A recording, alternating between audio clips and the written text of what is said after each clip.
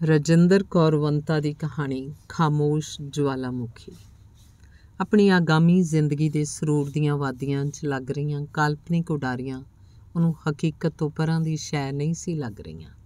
ਪੂਰੇ 4 ਦਿਨਾਂ ਬਾਅਦ ਉਹਦਾ ਵਿਅਕਤਿਤਵ ਸ਼ਹਿਨਾਈਆਂ ਦੀ ਗੂੰਜ ਨਾਲ ਸ਼ਿੰਗਾਰਿਆ ਜੋ ਜਾਣਾ ਸੀ।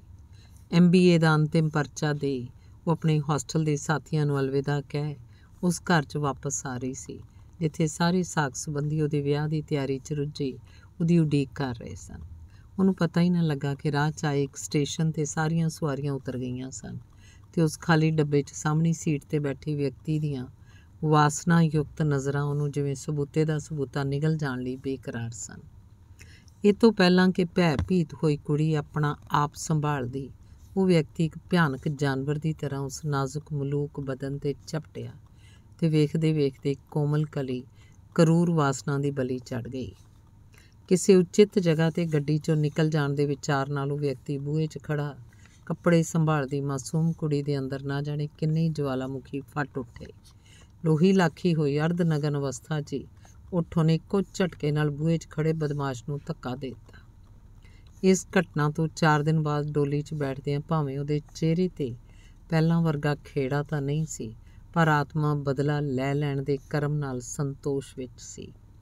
ਵਿਆਹ ਤੋਂ ਕੁਝ ਦਿਨਾਂ ਬਾਅਦ ਹੀ ਉਹਨੇ ਅਨੁਭਵ ਕੀਤਾ ਕਿ ਉਹਦੀ ਕੁੱਖ ਕਿਸੇ ਨਵੇਂ ਜੀ ਨੂੰ ਪਨਾਹ ਦੇਣ ਦਾ ਸੁਨੇਹਾ ਦੇ ਚੁੱਕੀ ਹੈ। ਇੱਕ ਖੁਸ਼ੀ, ਇੱਕ ਭੈ ਦੋਵੇਂ ਉਹਦੇ ਦਿਲੋਂ ਦਿਮਾਗ ਦੀਆਂ ਲੀਆਂ ਤੇ ਸਮਾਨੰਤਰ ਰੂਪ 'ਚ ਚੱਲ ਰਹੇ ਸਨ। ਪਰ ਬਹੁਤ ਛੋਟੇ ਕੱਦ ਵਾਲੇ ਅਤੀਤ ਦੇ ਲਹੂ ਪੀਣੇ ਭੈ ਨੂੰ ਆਪਣੇ ਉੱਚੇ ਲੰਬੇ ਕੱਦ ਵਾਲੀ ਗ੍ਰਸਤ ਦੀ ਸੁਨਹਿਰੀ ਜ਼ਿੰਦਗੀ ਦੇ ਅਹਿਸਾਸ ਨਾਲ ਪਰਾਂ ਧਕੇਲਦਿਆਂ ਉਹਨੇ ਘਰ ਦੇ ਹਰ ਕੋਨੇ 'ਚ ਆਪਣੇ ਪਤੀ ਦੀ ਤਸਵੀਰ ਲਗਾ ਦਿੱਤੀ।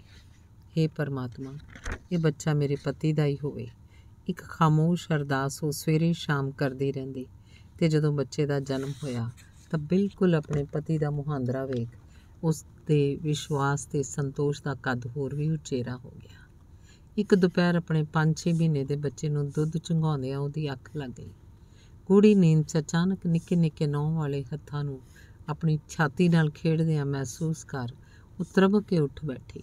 ਬੱਚੇ ਨੂੰ ਕਿਲਕਾਰੀਆਂ ਮਾਰਦਿਆਂ ਵੇਖ ਗੱਡੀ ਦੇ ਡੱਬੇ 'ਚ ਖਿਲ ਰਹੀ। ਇੱਕ ਹਵਸੀ ਹਾਸੇ ਦਾ ਦ੍ਰਿਸ਼ ਉਹਦੇ ਦਿਲੋਂ ਦਿਮਾਗ ਨੂੰ ਬਲੁੰਦਰ ਦਾ ਅੱਗੇ ਨਿਕਲ ਗਿਆ। ਧੰਨਵਾਦ।